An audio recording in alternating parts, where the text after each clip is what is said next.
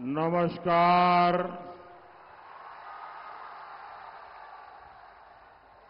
बोरोरा आमार प्रणाम नेबेन। छोटोरा भालोबासा। जलपाईगुड़ी के आराध्य देवता बाबा जलपेश और ब्राह्मरी देवी को मैं प्रणाम करता हूँ। कुछ दिन पहले ही जलपाईगुड़ी के अनेक क्षेत्रों में तूफ़ान से जान माल का भारी नुकसान हुआ है। जिन्होंने अपनों को खोया है, उनके प्रति मैं संवेदना व्यक्त करता हूँ। मैं घायलों के जल्द ठीक होने की कामना करता हूँ। भाई और बहनों, आज पूरे देश में पूरे बंगाल में एक ही गुंज सुनाई दे रही है। फिर एक बार, फिर एक बार, फिर एक बार, संपूर्ण बांग्ला संपूर्ण बांग्ला बोलचे, आभार। एक बार एक बार, जलपाईगुड़ी ने भी तय कर लिया है कि 19 अप्रैल को जयंत रॉय जी को रिकॉर्ड वोटों से जिताएँगे। साथियों ये चुनाव सिर्फ़ एक सांसद चुनने का चुनाव नहीं है। ये सशक्त भारत के लिए एक सशक्त सरकार बनाने का चुनाव है। जितनी मजबूर ताकतवर, मज़बूत केंद्र सरकार होगी, उतना मज़बूत दुनिया का भारत पर भरोसा होगा। फिर उतना ही अधिक निवेश यहाँ आएगा, फैक्ट्रियाँ लगेगी, विदेशी टूरिस्ट आएँगे। बीजेपी सरकार ने जी ट्वेंटी की मीटिंग नॉर्थ बंगाल में इसीलिए रखी थी। मकसद यही था कि ये क्षेत्र इंटरनेशनल टूरिज़्म मैच पर पहुँचे। आज केंद्र सरकार यहाँ चौड़ी सड़कें बना रही है। रेल कनेक्टिविटी बेहतर कर रही है। Dhupguri Jalpaiguri road, NJP station को आधुनिक बनाने के लिए भी तेज़ी से काम चल रहा है। ऐसे ही प्रयासों से नई नौकरियाँ, नए अवसर बनेंगे। हर परिवार का जीवन बेहतर होगा। सबको साथ लेकर सबका विश्वास जीतकर, सबका विकास करना ही तो भाजपा का लक्ष्य है। यही तो विकसित भारत का संकल्प है। इटाई तो विकोषित भारतेर संकल्पों। और इस संकल्प के लिए आज हर भारतीय पूरी शक्ति से प्रयास कर रहा है। यहाँ जो लोग हैं, मेरी उनसे प्रार्थना है कि मैदान छोटा पड़ गया है। मैं जानता हूँ आप मुझे देख नहीं पा रहे हैं, लेकिन आपके आशीर्वाद मुझे मिल रहे हैं, आपका प्यार मुझे मिल रहा है, और ये उत्साह उमंग शायद ऐसी सभा, इतना विराट दृश्य, ये तो बहुत बड़े आशीर्वाद है आपके। साथियों, विकसित भारत के सपने को पूरा करने के लिए मेरा भी हर पल, हर क्षण देश के लिए है। और इसलिए 24 फोर बाय सेवन मैं 2047 के लिए काम कर रहा हूँ।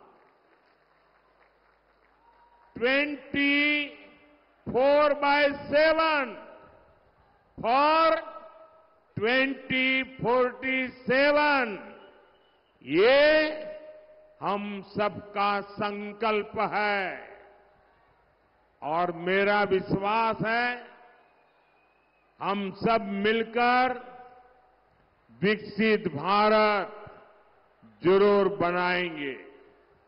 साथियों, एनडीए सरकार के 10 वर्ष गरीब एसटी एसटी परिवार माताओं बहनों के जीवन को आसान बनाने के रहे हैं।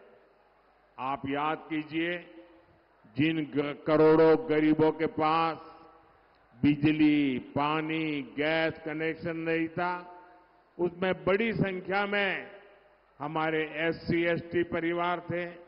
शौचालय ना होने से हमारे एससी एसटी समाज की महिलाओं को सबसे ज़्यादा परेशानी होती थी सरकार की योजनाओं में भ्रष्टाचार का सबसे बड़ा नुकसान एससी, एसटी परिवारों को उठाना पड़ता था। साथियों, आपने मुझे आशीर्वाद दिया और मैंने हालात बदलने का संकल्प लिया। हमने वंचितों को वरीयता दी। 2014 में बीजेपी सरकार बनी तो हमने एक दलित राष्ट्रपति देश को दिए। 2019 में बीजेपी सरकार बनी तो देश को पहली महिला आदिवासी राष्ट्रपति मिली। मुफ़्त राशन और मुफ़्त इलाज की योजना के अधिकांश लाभार्थी एससी, एसटी वर्ग के ही परिवार है। अधिकांश एससी, एसटी परिवारों को पहली बार पक्के घर मिले। पहली बार टॉयलेट, बिजली, पानी और गैस का कनेक्शन मिले। बीजेपी ने आदिवासी मंत्रालय का बजट कई गुना बढ़ाया। हमने आदिवासी परिवारों को 23 लाख से अधिक पट्टे दिए। हमने 400 से अधिक नए, एक लव्य मॉडल स्कूल बनाए। साथियों 10 वर्षों में 25 करोड़ देशवासी गरीबी से बाहर निकले हैं। हमारी सरकार की योजनाओं ने गरीब के जीवन को आसान बनाया है। हमने गरीब का स्वाभिमान लौटाया है, उसका गौरव बढ़ाया है। और मोदी ने 10 साल में जो विकास कार्य किया है, वो तो सिर्फ़ ट्रेलर है, ट्रेलर।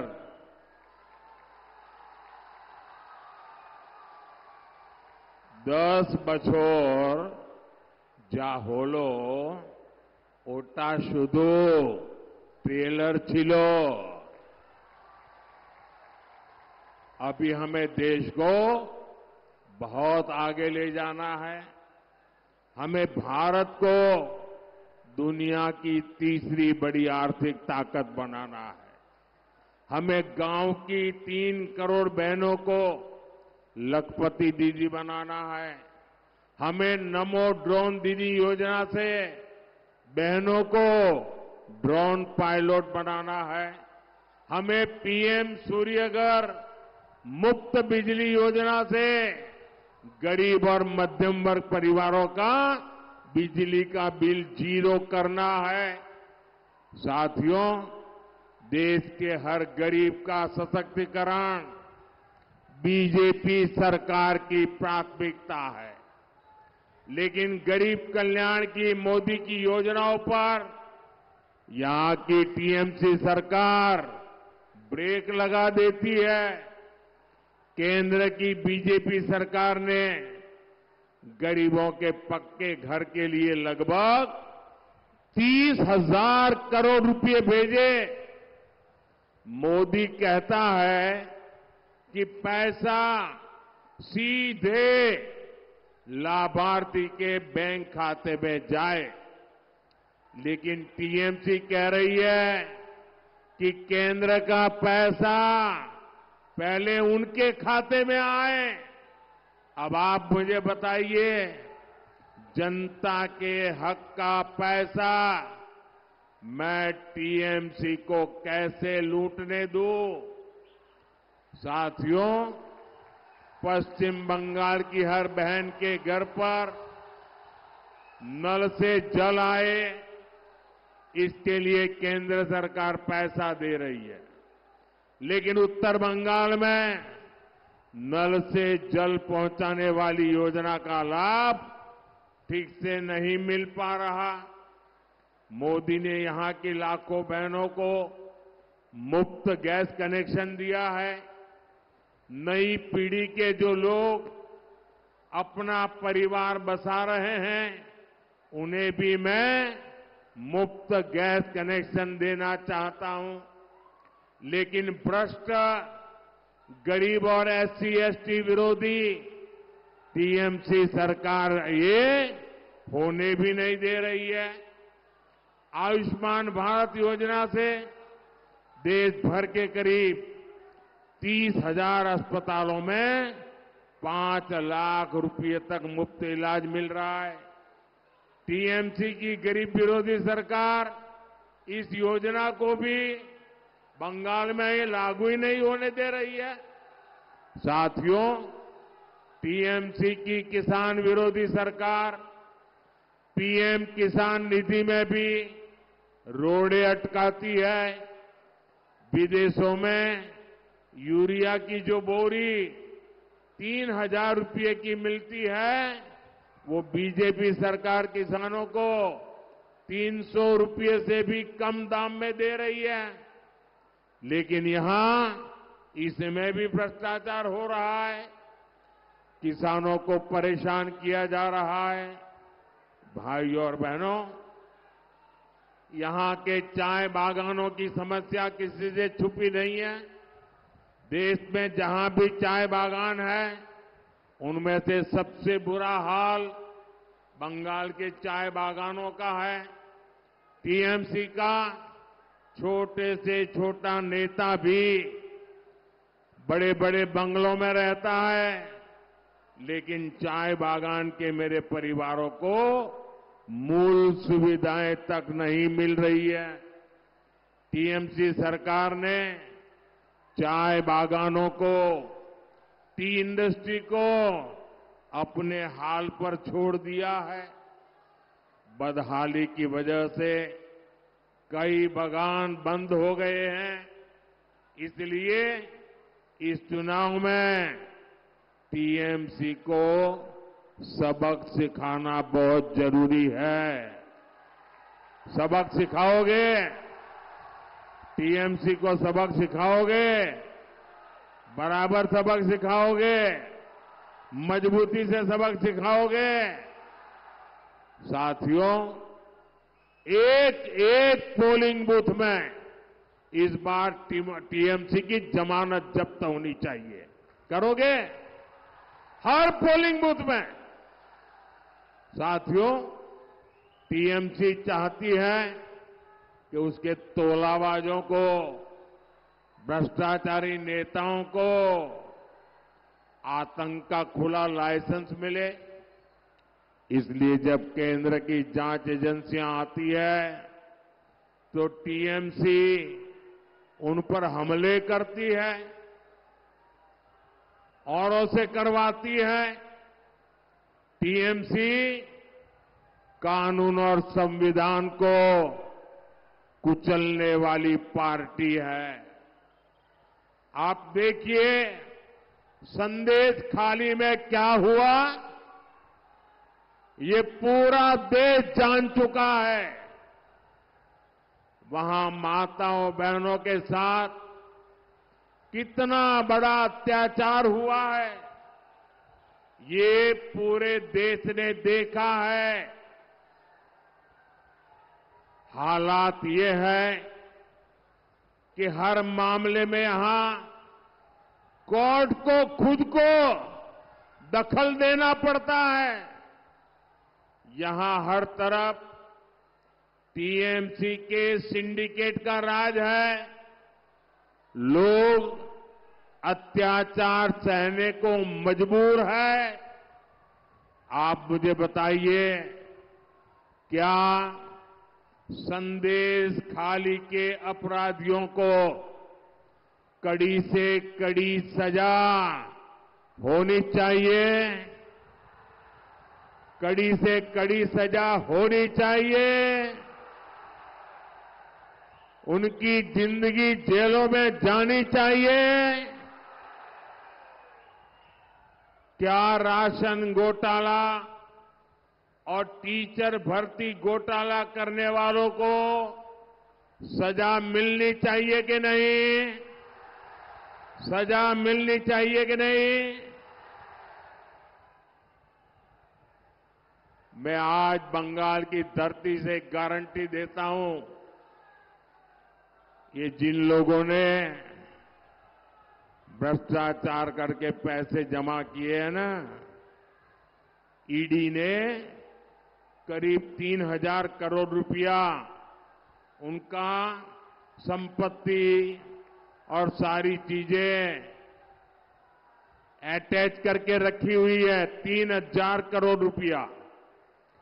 मैं एडवाइस ले रहा हूँ कि जो शिक्षक भर्ती में गरीब लोगों के पैसे गए, सरकारी नौकरी में गरीबों के पैसे गए और जिनका पक्का मिलता है कि हाँ, इससे पैसा गया है। तो जो तीन हज़ार करोड़ रुपए इनके अटैच किए ना, मैं इन गरीबों को वापस करवाऊँगा। बेचारा टीचर की नौकरी के पैसा दिया, मैं उसको पैसा वापस करवाऊँगा। साथियों, टीएमसी, वामदल और कांग्रेस ने ये तीनों एक ही चट्टे बट्टे के साथी हैं। टीएमसी वामदल कांग्रेस ने एक दूसरे के भ्रष्टाचारियों को बचाने के लिए ये इंडी गठबंधन बनाया है। मैं कहता हूँ, भ्रष्टाचार मिटाओ। वो कहते हैं, भ्रष्टाचारी बचाओ। आमी बोली भ्रष्टाचार छोड़ाओ ओरा बोले भ्रष्टाचारी बचाओ ये लोग चाहे जितनी साजिश कर लें मैं आपको गारंटी देता हूँ, चार जून के बाद भ्रष्टाचारियों के खिलाफ कार्रवाई और तेज होगी।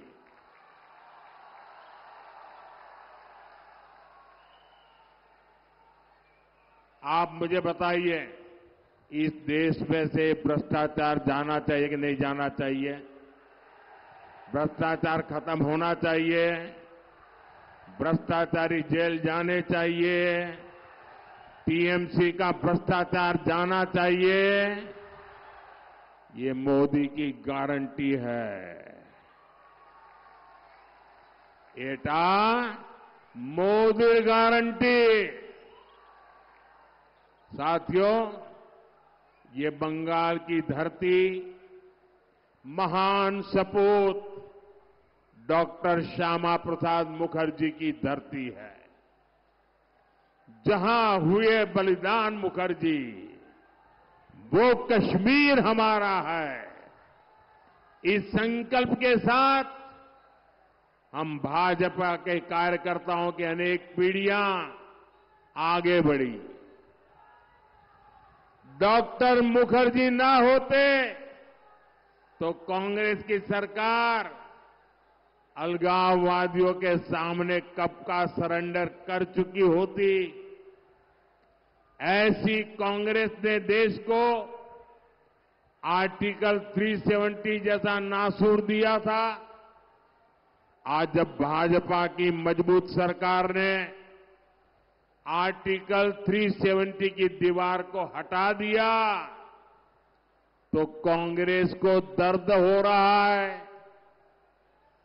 चिल्ला रहे हैं, आँसू बहा रहे हैं। कल कांग्रेस अध्यक्ष ने कहा है कि मोदी देश के दूसरे राज्यों में कश्मीर की बात क्यों करता है? दूसरे राज्यों का कश्मीर से क्या लेना देना? कांग्रेस के लिए कश्मीर कुछ नहीं, और उनका तो यही रहा है। कच्छ थी भी उनके लिए कुछ नहीं, कश्मीर भी उनके लिए कुछ नहीं। लेकिन 140 करोड़ देशवासियों के लिए कश्मीर माँ भारती का मस्तक समान है। है कि नहीं है? कश्मीर हमारा मस्तक है कि नहीं है? कश्मीर भारत का गौरव है कि नहीं है? और इस कश्मीर के लिए देश के हर राज्य के वीर जवानों ने शहादत मोल ली है, अपना जीवन समर्पित किया है। हमारे डॉक्टर श्यामा प्रसाद मुखर्जी बंगाल में जन्मे थे। बंगाली थे, लेकिन कश्मीर के लिए कश्मीर की धरती पर जाकर के अपनी ज़िंदगी दांव पर लगा दी और वो हमारे बीच नहीं रहे। कश्मीर के खातिर उन्होंने अपना प्राण त्याग दिया। इसी कश्मीर में शांति स्थापित करने के लिए कितनी ही माताओं ने अपने बेटों को खोया है। और कांग्रेस कहती है कि कश्मीर से बाकी देश का क्या लेना देना? कांग्रेस के इस बयान से उसकी विभाजनकारी सोच फिर एक बार सामने आई है। साथियों 10 साल बीजेपी सरकार ने जो कहा, वो पूरा करके दिखाया। हमारे पास 10 साल की उपलब्धियों का रिपोर्ट कार्ड है। यही वजह है कि इंडी गठबंधन वाले मोदी की गारंटी से ही डरने लगे हैं। ये अब कहने हैं लगे हैं कि मोदी को गारंटी देने से मना करो। झूठ और धोखे पर टिकी। इंडी गठबंधन के पास तो ना नीति है, ना कोई सिद्धांत। ये क्या गारंटी देंगे? ये मोदी है जो गारंटी देता है, और वो है जो गाली देते हैं। साथियों, आपको 19 अप्रैल को नीडर होकर अपने बूथ पर कमल छाप पर वोट डालना है আপনি ভয় পাবেন না পদ্ম ফুলে ভোট দিবেন और आप मेरा एक काम और भी करना घर घर जाना और हर घर में कहना कि मोदी जी आए थे और मोदी जी ने आपको प्रणाम भेजा है। कह देंगे घर घर बता देंगे, मेरे साथ बोलिए, भारत माता की, भारत माता की, भारत माता की। बहुत बहुत धन्यवाद।